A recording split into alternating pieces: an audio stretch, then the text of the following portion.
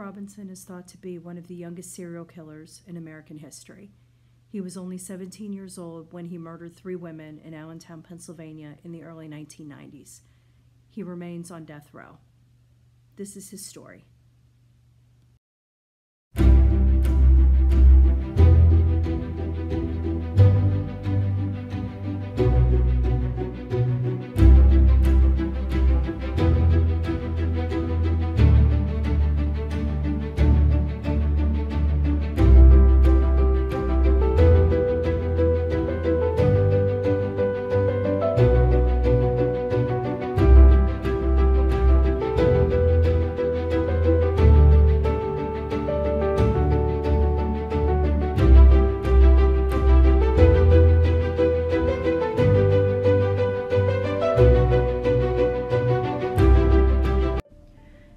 December 17, 1974, Harvey Robinson was born in Allentown, Pennsylvania.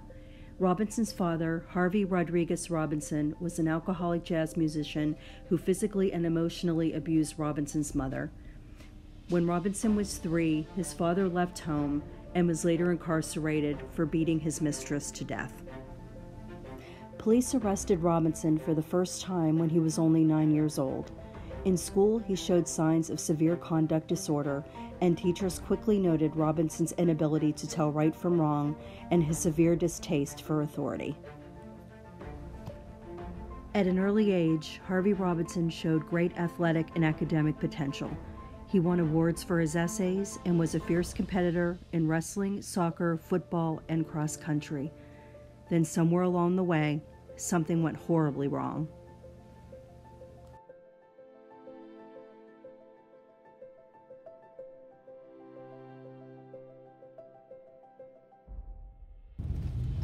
12:35 a.m. on August 5, 1992, Robinson burglarized the home of Joan Burghardt, 29, who lived alone in a one-bedroom apartment on the first floor of a residential apartment complex on the east side of Allentown. He broke through the screen on the patio door, which was locked, and ripped just enough to slip his hand through. Burghardt reported the burglary and the missing $50 from a drawer in her bedroom dresser. Everything else seemed undisturbed.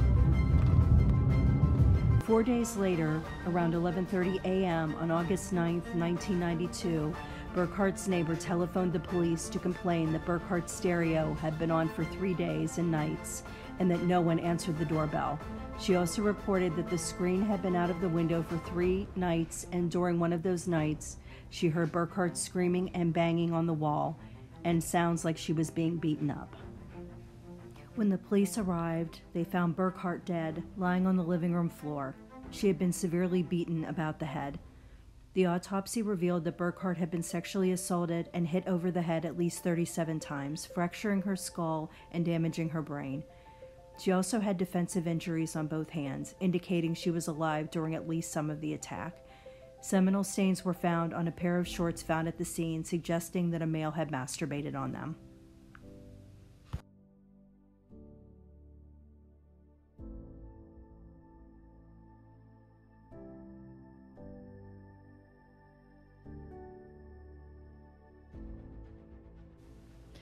Charlotte Schmoyer was always diligent about delivering the Morning Call newspaper on her assigned route on the east side of Allentown. When she failed to deliver the paper on the morning of June 9th, one of her customers became concerned. She did not spot Schmoyer, but what she did see alarmed her enough to phone the police. Schmoyer's newspaper cart was left unattended for more than 30 minutes in front of her neighbor's house. When the police arrived, they found the newspaper cart half filled with newspapers, and Schmoyer's radio and the headset had been strewn on the ground between the two houses. There were also finger streaks on the window pane of the door of a nearby garage of one of the houses. Based on the scene, the police concluded that Schmoyer had most likely been abducted. The police began their search and found her bicycle abandoned along with some of her personal property.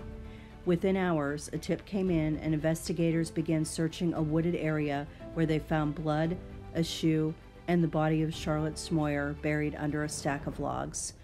According to the autopsy report, Schmoyer was stabbed 22 times and her throat was slashed. Also, there were cutting and scraping wounds in her neck area, indicating they were inflicted while Schmoyer was still conscious and her neck bent down. She had also been raped. Investigators were able to collect blood samples, a pubic hair, and a head hair on Schmoyer that did not match her blood and hair. The evidence was later matched to Robinson through DNA.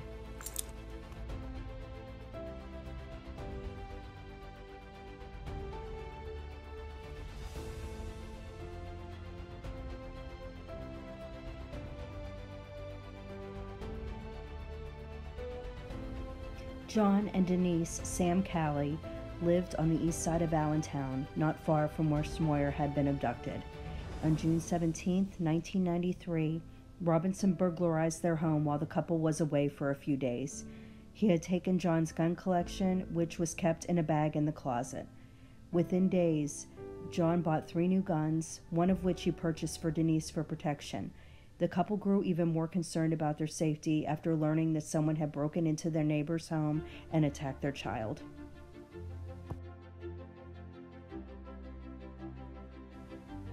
On June 20, 1993, Robinson entered a woman's home and choked and raped her five year old daughter.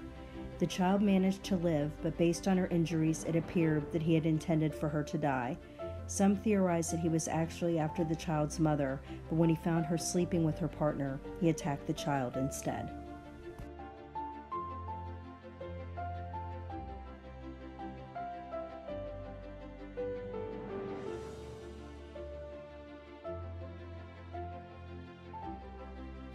On June 28, 1993, Denise Sam-Cali was alone as her husband was out of town. She awoke to the sounds that Robinson was making from inside the walk in closet near her bedroom. Frightened, she decided to try to run out of the house, but he grabbed her. They struggled. She managed to get out of the house, but Robinson grabbed her again and pinned her down onto the ground in the front yard. Robinson reportedly punched her, sliced her lip open, and then raped her. As the two fought, she was able to bite him on the inside of the arm. Her screams alerted a neighbor who turned on their porch light, which caused Robinson to flee. When the police arrived, they found Denise alive but severely beaten with strangulation marks around her neck and her lip deeply slashed. They also found a butcher knife wrapped in a napkin laying outside the bathroom door.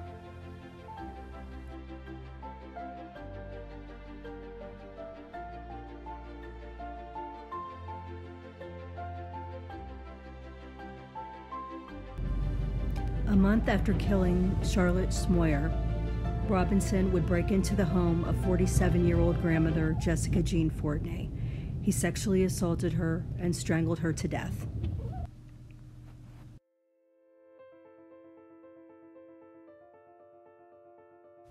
Denise Sam-Cali, Robinson's fourth victim, would finally lead to his capture. She escaped Robinson's initial attack and agreed to allow the police to use her as bait.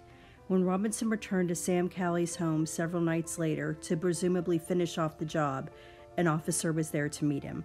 Robinson, who broke in through the window, and the officer exchanged gunfire before he fled the scene, crashing through a glass window.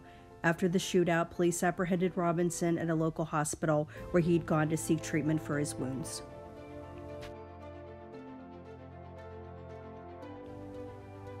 Though Robinson was a juvenile offender, he did not receive a more lenient sentence due to his age.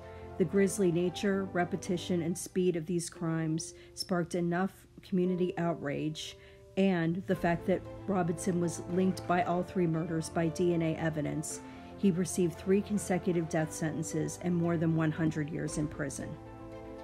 Over the years, however, Harvey Robinson has filed taxpayer funded appeal after appeal, namely following the 2012 U.S. Supreme Court decision that deemed death sentences for juveniles unconstitutional, and has succeeded in overturning two of his death sentences.